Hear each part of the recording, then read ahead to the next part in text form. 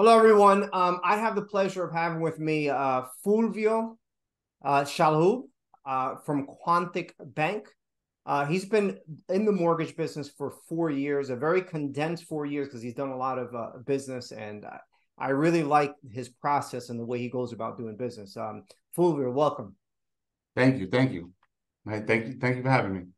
So, what we want to talk about, because I know um, you do all the traditional uh, lending, which is uh, Fannie Mae, uh, conforming, mm-hmm. FHA. Uh, but what are some of the specialties? What makes Quontic stand out? Like, what are some of the things that that are really niche to Quontic? So, Quontic, we're we're known a lot for our uh, our non QM stuff. Um, our non QM loans is what is definitely the, the, niche market that that. And what is a non QM? Non QM, so pretty much is your non traditional lending. Okay. Um, so, for example, uh, limited documentation, bank statement loans, um, tax ID loans, which has been a, a, big product for me, especially um, in some parts of the island, here Long Island, which is where we're located, uh, or where, at least with the branch I work out of. Um, so it's those type of loans where where Quontic has have a big wholesale division with we do a lot of that stuff, and we also do it retail. Okay. And what is the process like? What what are why would somebody need a non QM loan? Um, well, ITIN, that's self-explanatory. Tax ID, you know, that's not a traditional loan that uh, those uh, clients with the tax ID could acquire.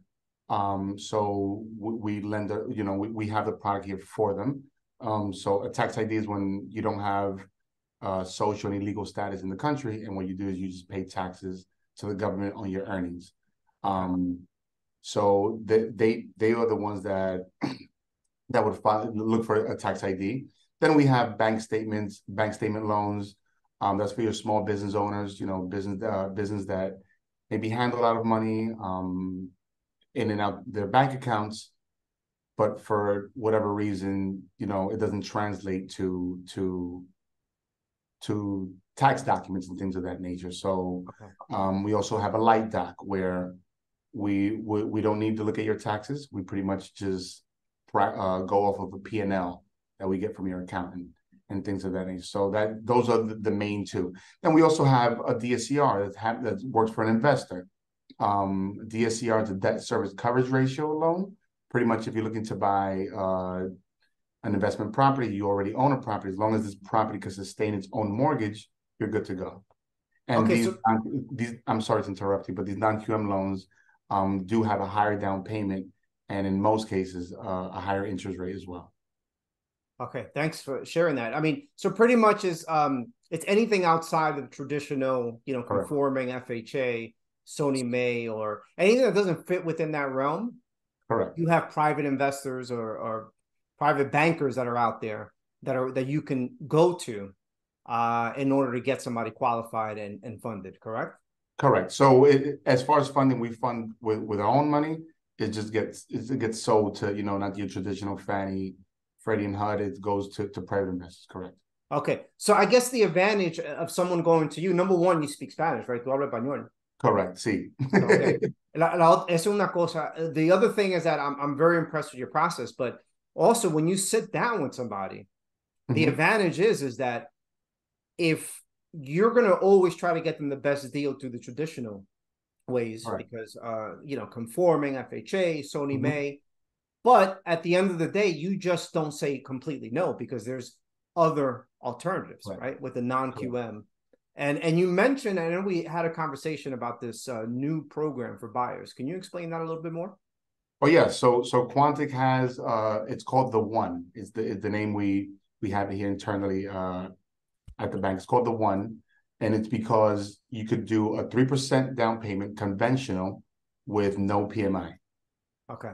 Um, in Nassau and Suffolk County, um, there is an income limit of 117, 120. So $117,000, 120 pretty much. Um, uh, not 120,000, I'm sorry. 117, 120 pretty much is the okay. income limit. And what's the um, percent down again? Um, minimum 3%. 3%. 3%. Okay. No PMI. No PMI. And with that's a, with a minimum down, uh, I'm sorry, with a minimum FICO of 660. Okay. Mm-hmm. Now, th- do they get a break also with the interest rate, or is is traditional the, whatever the rates the rates are out there? So, so if, if you're familiar with if anyone's familiar with Home Ready, which is slightly better than your traditional conventional rate, we're similar to that pretty much. Okay. So, if any, so so yes, the answer is they do get a break with with the interest rate as well. No PMI is key. Yes, for sure. I mean, not having to pay that monthly because the the thing is with FHA, I mean, you can't. The only way to get out of it is refinancing out of it. Refund, correct. And then anything else, you have to wait until you know you're less than eighty percent LTV, loan to value, meaning that you owe less than um, eighty percent than what the value is, and, and we don't and we don't know if values are going to shoot up the way they did in the past four or five years. Correct. Correct. Anything else you want to tell me about lending, about the market, about what's happening, about your process specifically? If somebody were to call you, like what what is your unique process? The market rates and all that stuff, I'd rather not speak about. We can't crystal ball that. We don't know. We kind of just, you know, uh, move with the punches with that. Um, but as far as my process, I'd love to speak about it. Um, okay. Uh, my pro- client calls me today, and my goal is to screen them over the phone. Uh, just a quick screening. You know, what are your savings like? What are your what, uh, your assets? Pretty pretty much your assets. What's your earnings like, and what what the, what's the plan around it? And then once I see that we do have um, and it's not just for me, it's for both of us. It's for the client and myself.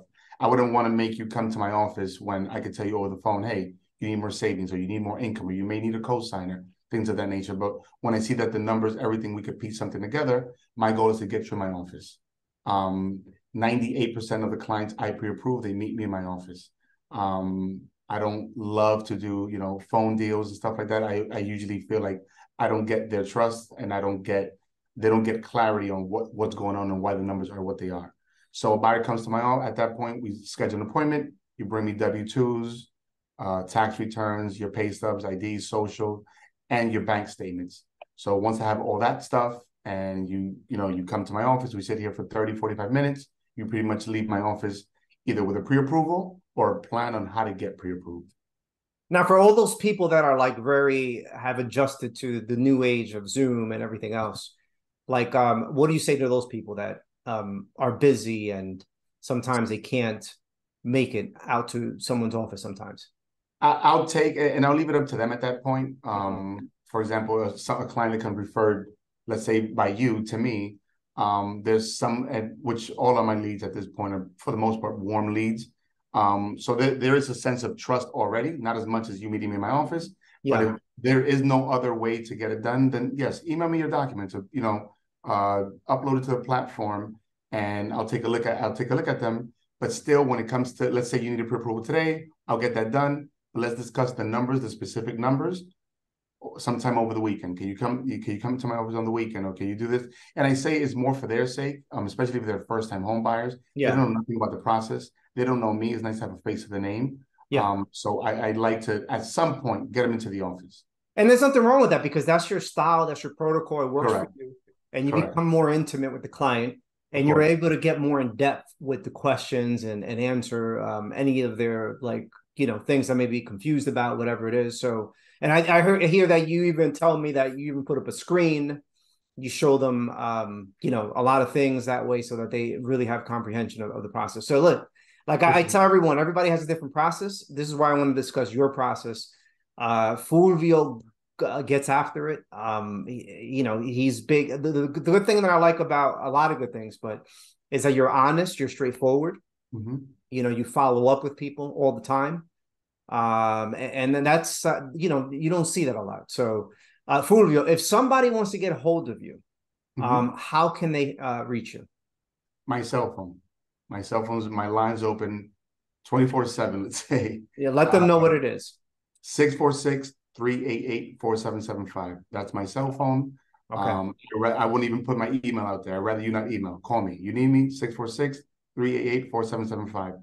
Worst thing that could happen is I might be busy. I might not answer. Right. The phone call at the time, but you'll definitely get a call within the day. Yeah, and, and if you don't pick up, hey, send a text, right? Because at for the sure. end of the day, look, you're doing this for me right now. You wouldn't be able to pick up, right? My phone, exactly. with a client, and, and if you if you sit down with somebody in person, especially for for whatever how long it is, you want to put all your attention to them. So, exactly, folks, send him a text if he doesn't pick up, uh, and at least have a conversation with him so that you can you know he can answer the basic questions. Uh, and if I always say if there's a flow there, there's a click, then you take it to the next level. Okay, Fulvio, thank you so much for your time, bro. All right. Thank, thank you, Rafael. Appreciate you. Thanks for having me.